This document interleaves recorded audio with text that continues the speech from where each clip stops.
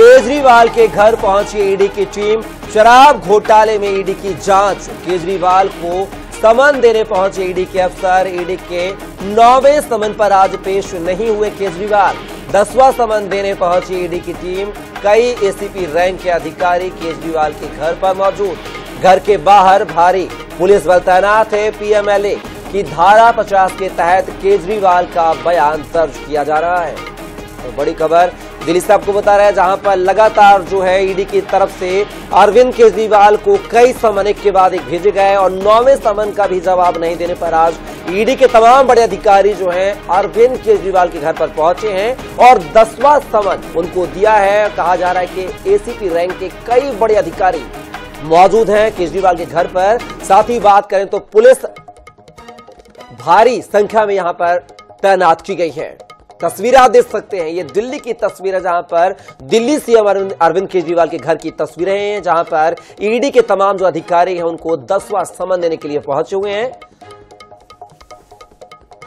आपको बता दें, ईडी ने एक के बाद एक जो है कई समन अरविंद केजरीवाल को भेजे, लेकिन अरविंद केजरीवाल एक भी समन को लेकर ईडी के दफ्तर पेश नहीं हुए हैं।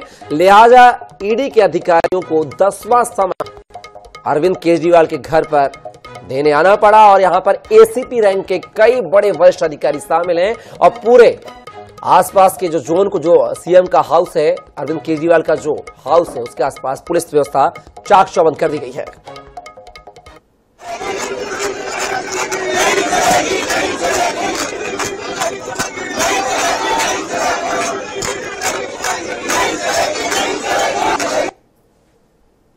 देखिए, ये बिल्कुल साफ़ है कि ईडी और भारतीय जनता पार्टी जो उनके मालिक हैं, कोर्ट का सम्मान नहीं करते हैं।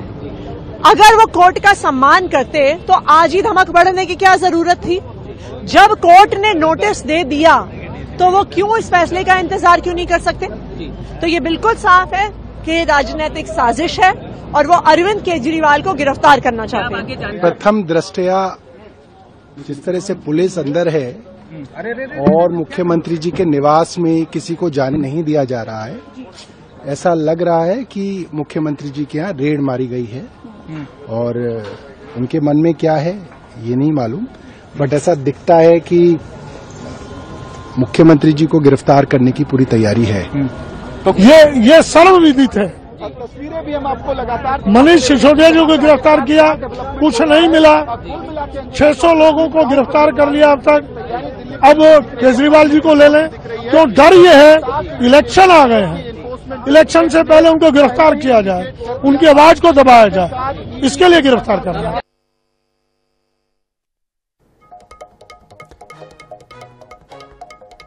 और इस खबर पर हमारे साथ ज़्यादा जानकारी के साथ सहयोगी दिल्ली से स्पर्श शर्मा फ़ोन लाइन पर जुड़ गए हैं। स्पर्श बात की जाए, लगातार अरविंद केजरीवाल को ईडी के द्वारा समन दिए जा रहे थे, लेकिन एक भी समन को लेकर जो है ईडी के कार्यालय में अरविंद केजरीवाल पेश नहीं हुए लिहाजा एसीपी रैंक के तमाम बड़े अफसरों को ईडी के अधिकारियों को अरविंद केजरीवाल के घर पर पहुंचकर दसवां समन देना पड़ा, जिसको लेकर अब सियासत भी शुरू हो गई। आतिशी का बयान आपने भी सुना, हमने भी सुना। कहीं ना कहीं लोकसभा चुनाव को लेकर यहाँ पर तंज कसते हुए नज़र आ रहा क्या कुछ जानकारी इस खबर को लेकर स्पर्श?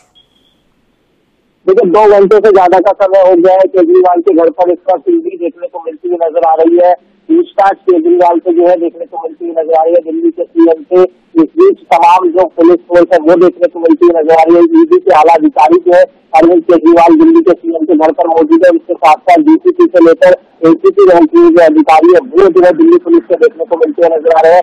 लगातार समर्थकों का जमाना अरविंद केजरीवाल के दिल्ली आवास पर जो है देखने को जो है मिलता हुआ जो है नज़र आ रहा है। और उसके साथ साथ सीधे तौर पर बात करते हैं तो सीधे तौर पर आम आदमी पार्टी यही कह रही है की जो आज ये समन है, वो कहीं ना कहीं गैरकानूनी देखने को मिलता हुआ नज़र आ रहा है क्योंकि आज इस मामले पर सुनवाई भी देखने को मिलती हुई नज़र आई थी दिल्ली हाईकोर्ट में। तो इसको लेकर ये कह रहे हैं कि दिल्ली हाईकोर्ट में जब जो है सुनवाई चल रही है तो इस तरीके से ईडी क्यों आज जो है देखने को यहाँ पर जो है मिलती हुई नज़र आ रही है? तो ये कहीं ना कहीं आरोप प्रत्यारोप का दौर भी देखने को मिलता हुआ नज़र आ रहा है, लेकिन हाई कोर्ट से भी हम जानते हैं किस तरीके से जो झटका है वो अरविंद केजरीवाल को जो है आज लगता हुआ नज़र आया था इस बीच नौ सवाल पर अरविंद केजरीवाल जो है ईडी के समक्ष पेश नहीं हुए थे।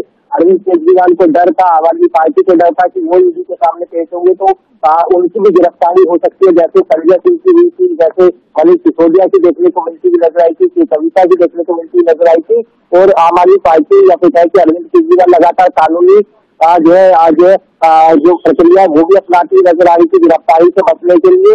लेकिन हाई कोर्ट से झटका, लेकिन सुप्रीम कोर्ट में फ़िलहाल अरविंद केजरीवाल है, वो पहुँचे हैं लेकिन देखने वाली बात ये रहेगी अब कि क्या अरविंद केजरीवाल को आज ही गिरफ़्तार करने की है, या फिर किस तरीके से होगा, या फिर ईडी दफ्तर अरविंद केजरीवाल को ले जाया जाता है, ये तमाम चीज़ें जो कहीं ना कहीं महत्वपूर्ण रहेंगी।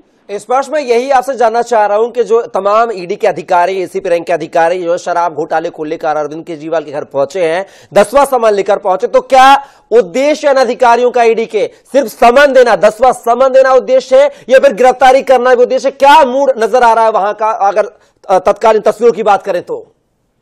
देखिए, सिर्फ़ समन हो, ये तो जो है समझ नहीं आ रहा है, क्योंकि समन होता तो अब तक जो है अरविंद केजरीवाल को समन दिया जाता और वापस ईडी की टीम चली जाती है लेकिन जिस तरीके का माहौल है ईडी के कई बड़े अधिकारी देखने को मिलते हुए नज़र आ रहे हैं न केवल बल्कि जो भारी संख्या में पुलिस फोर्स है वो जो है तैनात देखने को मिलती हुई नज़र आ रही है। एसीपी डीसीपी रैंक के अधिकारी है।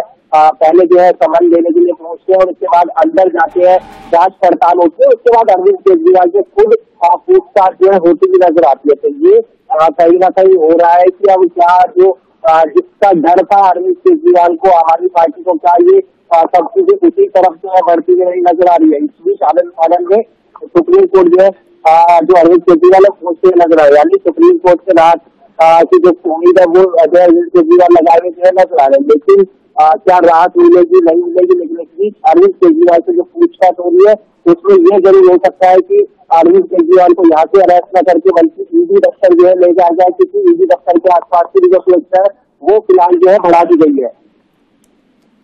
स्पर- स्पर्श आप हमारे साथ बने रहेगा तो आपको बता दें कि लगातार जो ईडी के अधिकारी जो है, अरविंद केजरीवाल के घर पर मौजूद है दसवा समन देने पहुँचे हैं और कयास ये लगाया जा रहा है कि हो सकता है कि अरविंद केजरीवाल की आज गिरफ्तारी हो जाए। हमने आपको बड़ी खबर जो वो बता रहे हैं, और दिल्ली स्पीकर का बयान भी सामने आ गया, जिसमें दिल्ली स्पीकर जो कहते हुए नज़र आ रहे हैं, दिल्ली सरकार के स्पीकर कहते हुए नज़र आ रहे हैं कि अरविंद केजरीवाल गिरफ्तारी के बाद भी सरकार चलाएँगे, इस्तीफा नहीं देंगे, वो जेल से सरकार चलाएँगे। ऐसा दिल्ली के विधानसभा के स्पीकर का कहना है, ऐसा उनका बयान सामने आया, यानी कहीं ना कहीं अगर अरविंद केजरीवाल की गिरफ्तारी होती भी है तो अरविंद केजरीवाल यहाँ पर इस्तीफा नहीं देंगे। ऐसा स्पीकर का कहना, वो कह रहे हैं कि जेल से सरकार चलाएँगे अरविंद केजरीवाल, लेकिन मुख्यमंत्री रहेंगे अरविंद केजरीवाल ही। कहीं ना कहीं, ये जो अभी हमने देखा है, जिस तरीके से झारखंड में तस्वीर सामने आई थी, कि गिरफ्तारी के पहले इस्तीफा दिया, नया सरकार का गठन हुआ, और वही जो तस्वीर कहीं ना कहीं दोबारा यहाँ पर दोहराई ना जाए, इसलिए दिल्ली स्पीकर का बयान भी सामने आ गया दिल्ली स्पीकर ने कहा है कि अरविंद केजरीवाल गिरफ्तारी के बाद भी इस्तीफा नहीं देंगे, मुख्यमंत्री पद पर रहेंगे, और जेल से सरकार दिल्ली की चलती रहेगी, ऐसा उन्होंने कहा है। आपको बता दें दिल्ली शराब घोटाले को लेकर बात किया है पूर्व deputy CM Manish Sisodia. Jail में है, उनसे पूछताछ की गई है। फिर सांसद संजय सिंह, राज्यसभा सांसद है, आम आदमी पार्टी के उनको गिरफ़्तार किया गया, उनसे पूछताछ की गई। और लगातार जो है, आम आदमी पार्टी के तमाम मंत्री, तमाम जो नेता, उन्हें सुना, आपने सुना है, हमने उनको बाइट में आपने सुना है कि वो कह रहे हैं कि मनीष सिसोदिया गिरफ्तारी से कुछ नहीं लगा ईडी को हाथ। संजय सिंह की गिरफ्तारी से ईडी को कुछ हाथ नहीं लगा है। लिहाजा अरविंद केजरीवाल पर निशाना साधा जा रहा है और झूठे आरोप गढ़े जा रहे हैं। चुनाव साल है। चुनावी साल में जो है अरविंद केजरीवाल की आम आदमी पार्टी की छवि को खराब करने के उद्देश्य से ये हथकंडे जो है केंद्र सरकार कर रही ईडी कर रही है, एजेंसियाँ कर रही है और हम बार बार पहले भी सुन चुके हैं कि अरविंद केजरीवाल कह चुके हैं कि वो ऐसी बंदर घुड़ की धमकियों से डरने वाले नहीं है और इस खबर पर लगातार जो है हमारे साथ हमारे सहयोगी जुड़े हुए थे। स्पष्ट तमाम जानकारी को साझा करने के लिए बहुत बहुत शुक्रिया आपका।